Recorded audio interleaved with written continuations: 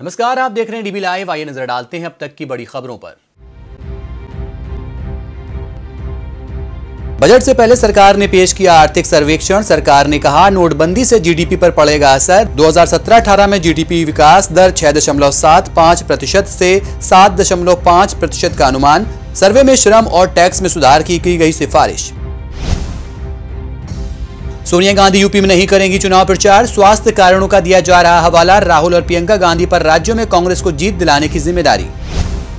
जलीकट्टू के नए कानून पर सुप्रीम कोर्ट ने रोक लगाने से किया इनकार। सुप्रीम कोर्ट ने तमिलनाडु सरकार को नोटिस जारी कर छह हफ्तों में मांगा जवाब। कोर्ट के आदेश की अवहेलना और प्रदर्शन के दौरान लॉ एंड ऑर्डर संभाल न पाने पर राज्य सरकार को लगाई फटकार।